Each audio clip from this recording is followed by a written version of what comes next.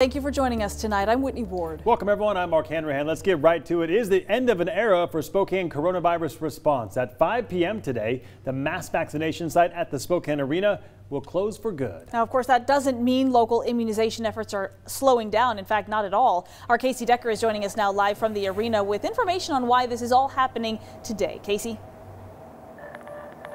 Well, Mark Whitney, I was actually here at the arena on the first day that it opened as a mass vaccination site. And simply put, it really couldn't be a more different scene between then and now. You can see behind me almost no activity, also no snow on the ground anymore. But there's barely been anyone who's come in to get their shot here today. And that's part of the reason why local health officials are moving away from the mass site model and towards mobile clinics. Okay, perfect.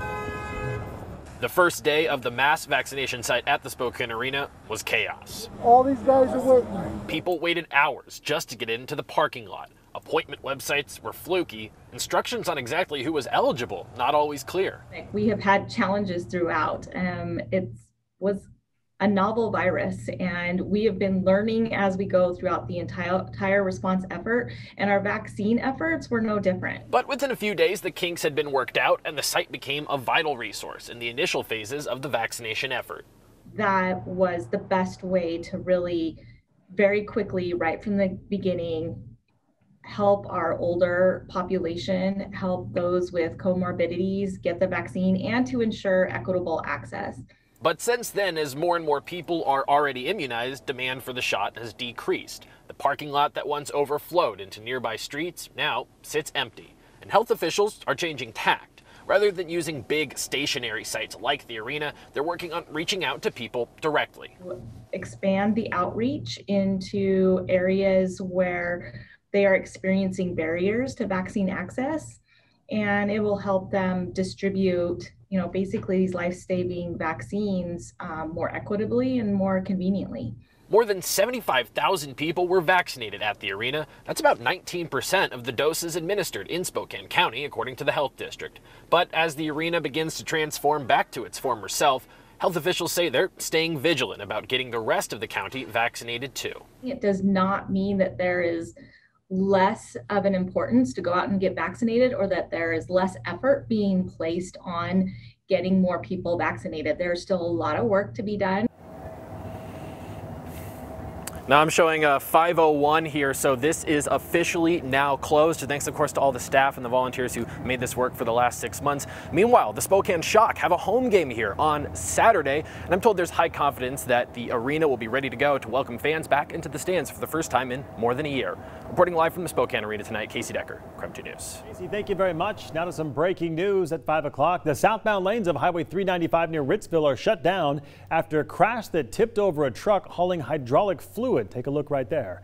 The Department of Transportation has rerouted traffic to State Route 21 and 26, but there's roughly four miles of backups, they say.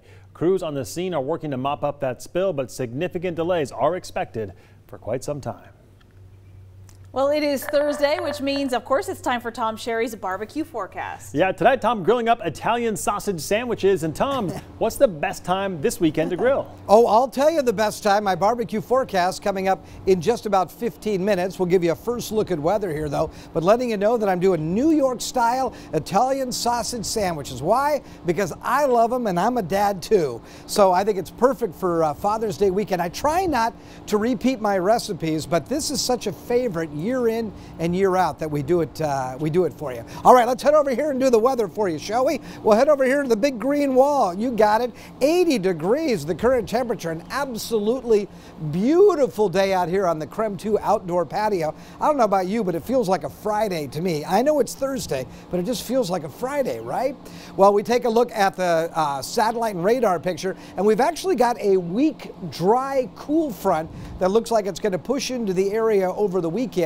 We'll still see temperatures above average into the 80s, but it is going to get windy. We'll look for wind gusts on Saturday up to about 30 miles per hour. In the meantime, get ready for a very warm to borderline hot day on Friday, shooting for a daytime high of 88. That's after a morning low of 53 degrees. When we take a look at your weekend forecast, of course, Juneteenth now. On Saturday, we'll look for partly cloudy skies, windy conditions, a high of 85. And then for dear old dad, on Sunday, we'll look for a daytime high of 80. 84 with more sunshine, less clouds, less wind, a bit on the breezy side. Again, I'll have the day that you need to get out in your backyard and do some grilling uh, coming up in just a few minutes. 85 degrees looks pretty much perfect to me Yeah. for Saturday. Thank you, bet. Tom. By the way, if you want to cook the Italian sausage sandwich recipe along with Tom, just text the word or the letters BBQ to 509 448 2000. Thank you very much, Tom.